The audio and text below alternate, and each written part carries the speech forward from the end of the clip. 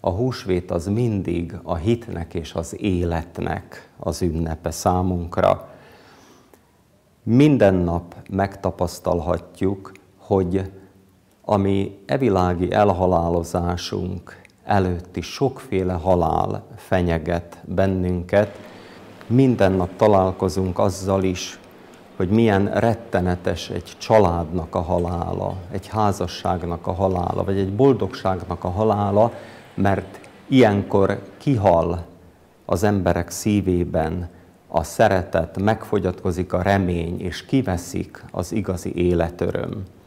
És a feltámadt Krisztus az nem csak azért halt meg, hogy az örök haláltól megmentsen minket, hanem azért támad fel, hogy teljes életet éljünk. Nagy csütörtökön mi annak az Istennek a szeretetét ünnepeljük, aki életét adta barátaiért.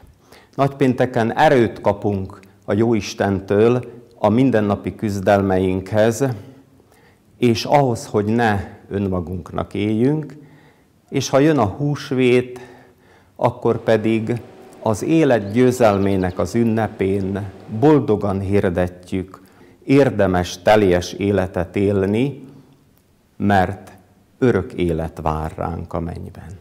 A nagypéntekes a húsvét a keresztény gondolkodásnak és az egyházi évkörnek a kicsúcsosodása éppen azért, mert itt látjuk azt az isteni akaratot megvalósulni, aminek a jelei már korábban is megvoltak.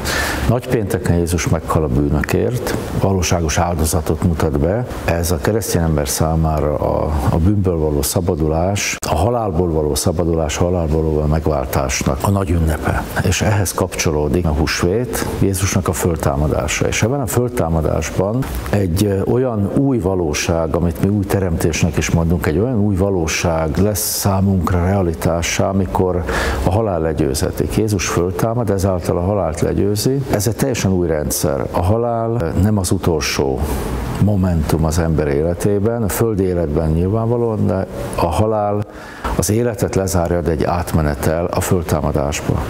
Tehát Jézusnak a föltámadása az nem csak az ő föltámadása, hanem magával vonja az ember föltámadását is. És gyakorlatilag húsvétben az a, az a fölemelő, hogy ez a Krisztusi föltámadás a zálog a mi föltámadásunknak, és hogyha ez így van, akkor az életünkre nem úgy tekintünk, hogy minden nap közelebb kerülünk az elmúlásba, hanem minden nap kiteljesedik az élet ebben az örök életben, ebben a föltámadásban. Ez egy olyan óriási örömtelű ünnep ez a húsvét.